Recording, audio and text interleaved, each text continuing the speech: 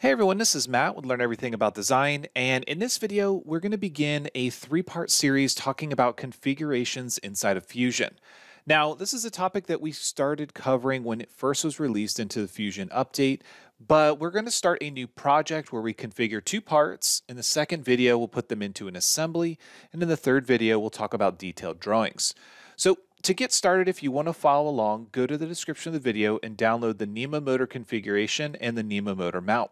Both of these designs were set up using parameters, and we're going to discuss how we can configure things like features, we're going to configure the parameters, and we're also going to take a look at configuring things like appearances and physical materials.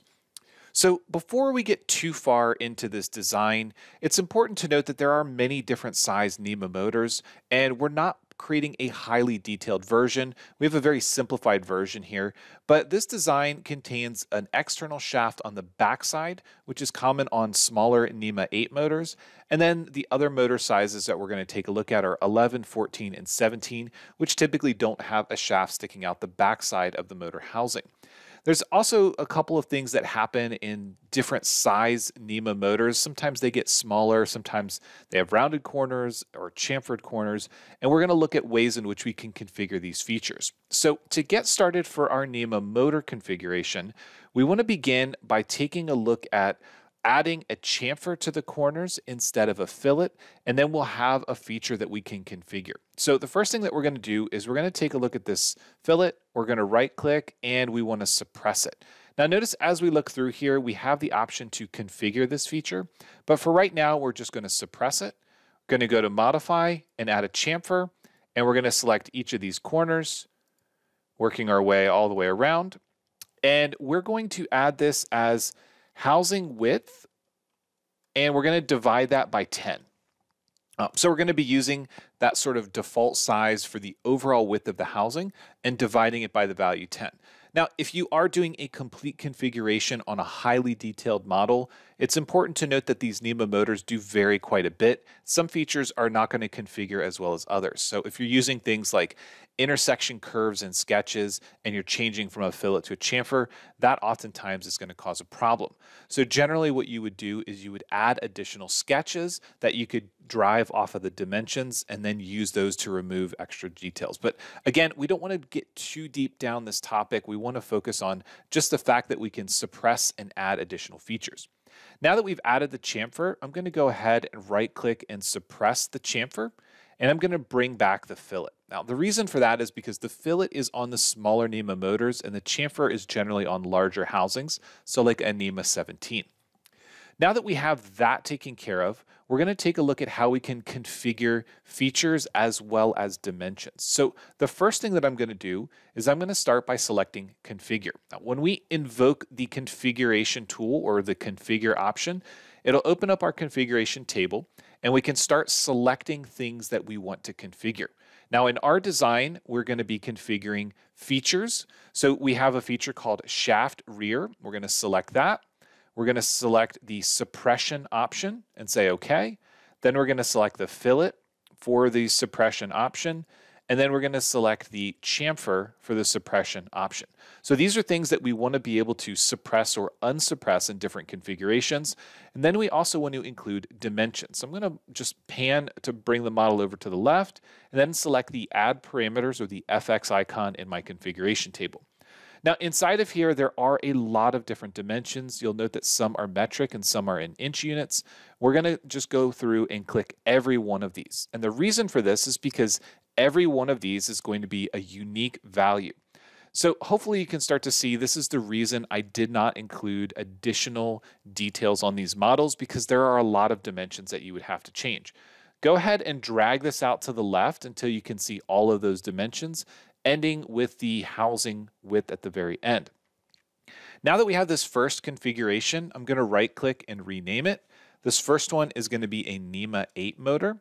And now I want to add additional configurations for 11, 14, and 17. So I'll add a 3 over here and hit plus, which will add three additional configurations. I'm going to start by renaming these. The second one will be NEMA 11. The third one is going to be our NEMA 14. And the fourth one is going to be our NEMA 17. Now, if you want to, you can go and you can go onto websites like McMaster-Carr and you can download these models directly. You can also go and find tons of resources for tables and different sizes of these different motors. There are variations that are longer or shorter, but again, I just picked four different ones that we can configure. Now that we have all of these selected, we want to begin by first taking a look at the suppression state. So I'm going to rotate this housing around. The external shaft on the backside of the housing is only on the NEMA 8 motor. So I'm going to click the green checkbox to suppress this in all of the other housings. And then for the fillet and chamfer, the fillet is available on 8, 11, and 14, but when we get to the 17, we're going to suppress the fillet and unsuppress the chamfer. Now we need to take care of all the dimensions. Out. You're going to have to go ahead and punch all of these in, so we're going to go a little bit slow here so that you can follow along, and I'll call out each dimension. For the overall length for a NEMA 11, it's going to be 2.05. And then we're going to simply hit tab to go to the next one. Now the next value here is actually shorter. The housing length is 1.26. The next value is going to be 18 millimeters because it's going to take whatever uh, unit value that we have associated with that. We don't have to hit millimeters, we just type in that value. Shaft rear, this is suppressed, so it doesn't really matter, but I'm going to enter a value of zero. The shaft diameter increases to five millimeters for the seven uh, are for the 11, 14, and 17. Uh, the flange thickness is 0.08.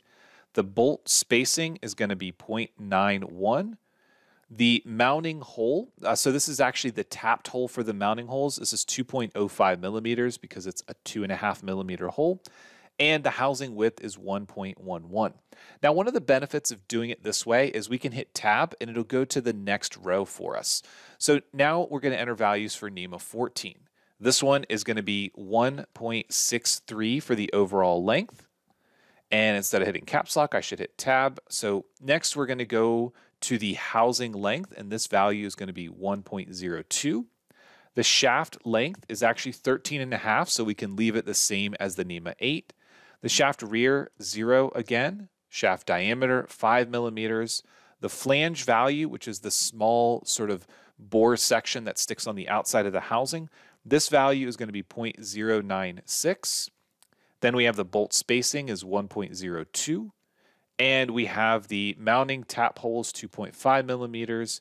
And the housing width is going to be 1.39. And then for the last row, the NEMA 17, we're going to be at 2.915. For the housing length, this is 1.89. For the shaft length, this is uh, going to be 24 millimeters. It's quite a bit longer on this one. For the shaft rear, again, this is zero. Shaft diameter, five millimeters. The flange value for this one is 0.08. The bolt spacing is 1.22. The mounting hole is 2.5. This again has a three millimeter hole size, and the housing width is 1.669. So once we have all those values entered, I'm going to go ahead and rotate the model around. And while we have the configuration table open, we're going to click on and double click for NEMA 8 double click to the 11, double click to the 14, and go to the 17. Notice for the 17 that the fillets change to chamfers. If we go back, you can see that those go back again. Um, so again, with this process, we can go through and we can very easily configure parameters, which is a great way to create your designs, but we can also configure the suppression state of features. So if we need to add a connector in a certain location. Now we can do that. But you have to be very careful and mindful with the way in which you set these models up because you want to make sure that the references for sketches are going to be available in all models. For example, if I started a sketch on this face, this would be different for the NEMA 11 or 14 because there's a fillet and not a chamfer there. So those re, uh, those references are oftentimes going to get lost. So I strongly suggest you use reference sketches that don't relate to geometry whenever possible, and you use things like parameters and dimensions that have been predefined to drive all those sizes. So now that we have this design configured, I'm going to go ahead and save this, just Control S. Once you save a configured design, it'll be converted to that configured design and we can't go back. So uh, this is something that's very important. When we take a look at this inside of our data panel, you can see the icon has changed and it now has a different icon over it for that configuration. So the next thing that we want to do is we're going to go to this NEMA motor mount and follow the same exact process. This one's not going to have suppressed features for hole sizes. It's only going to have some, some different variations. So we're going to start the configure process, select FX, and we want to configure some of these values, but not everything. Uh, the housing width, this is directly related to the NEMA motor sizes. The uh, bolt spacing, we have one for shaft diameter, but honestly, this isn't really important for us. And the bolt diameter is going to be important because as we go up, we go to two, two and a half, and three millimeter bolt sizes. So we'll say, okay, we'll add three additional configurations, and then we'll begin renaming these. So I'm going to rename the first one NEMA 8, just like we did before. The second one is going to be NEMA 11. The third one is going to be our NEMA 14. And the fourth one, right click and rename, is going to be NEMA 17. Uh, so with each of these, we need to start controlling the housing width, the bolt spacing, and the bolt diameter values. And then we're going to come back and configure some additional things like materials and the uh, appearances. So for the NEMA 11, instead of 0.8, we're at 1.11. The bolt spacing is going to be 0.91, and the bolt diameter is 2.5 millimeters. For a NEMA 14, we are going to be looking at a housing width of 1.39. The bolt spacing is going to be 1.02, and the bolt diameter is going to be 3 millimeters. And for NEMA 17, the housing width is 1.669. We are going to be looking at a bolt spacing of, let's see, 1.22, and we're looking at a bolt diameter of 3 millimeters. So that'll allow us to take a look at creating variations of this. So again, we can go back and, and select each of these different housings and we can make sure that everything does update properly. And what we should see is that the bolt hole spacing and also the hole in the center is increasing and this should allow us to insert a NEMA motor into each of these. Now that we have the basic size configured, we can also do things like expand the bodies, right click, and we can configure things like physical material and appearance. Now, one trick to this is we want to assign these first. So if we want to assign a physical material or appearance, we should definitely do that before we get started. So I'm going to go into metal and I'm going to find an aluminum and simply drag it onto the body, right click. And then if we go into configure this design, uh, so again, if we right click and, and select configure, notice that we can do things like physical material, appearance, and visibility. We're going to select physical material and say OK, and notice it puts this in the bottom section under physical material themes. The way that we work this is that we're going to create two different themes. So I'm going to right click and rename this to AL for aluminum, and I'm going to add an additional theme, and I'm going to right click and rename this one to be steel. Then we simply change the, the value for body one to steel. And you'll also notice that we can change the appearance here. This is going to be the NEMA motor mount, the top level, and then this is the body level. So when you're thinking about designs, you can apply a physical material or appearance at the component level, which is the top level of our design, or in individual bodies. So now we've got each of those, we simply need to go back through and pick which physical material we want for each configuration. So let's say, for example, the 8, 11, and 14 can all have aluminum, then we might want steel to be available for NEMA 17. So when we do this and we go through the different configurations, we should see that the appearance has changed. And when we go to the steel version, which is NEMA 17, you can see that it has that dark steel material applied, and the 14, 11, and 8 have an aluminum material. So once again, let's go ahead and save this. Make sure that we are saving that configured component. Uh, and it is important to note that there are different things that we can configure. Some are going to be easier than others, but things like appearances and physical materials, those are much easier if you apply something custom. So if you apply an aluminum, then you can configure that component and it's very easy to do. And in this case, if I want to change the physical material, and I've uh, pre-selected a configuration, let's say at 14 here, and let's say that I drag the steel material to that body. If I go into my configuration table, note that this configuration is still referencing this aluminum, but we, we need to make sure that when we're reconfiguring things, we're applying materials or appearances, that we go back into our configuration table rather than trying to manually apply those. It's going to be a much more consistent way. There are also properties that we can add. So in this case, a part number, a component name, or a description. We can add those values if we wish, and we can also do things like um, add additional components into the configuration mode. For what we're doing here, it makes the most sense just to configure those top level properties, in this case, adding physical materials. When we think about components, if we right click on our top level component and take a look at our properties, this is where you're going to find information about the component name, the part number, and the description. And these are some of the values that we can configure for each of those different configurations. For our design, let's double check everything. NEMA 8 and NEMA 11 are going to be aluminum, and now NEMA 14 and 17 are in a steel material. If we want to add any additional parameters to the configuration, for example, the wall thickness value, all we need to do is uh, select those values when we're configuring. So we're going to go into our configuration table we can add those parameters in.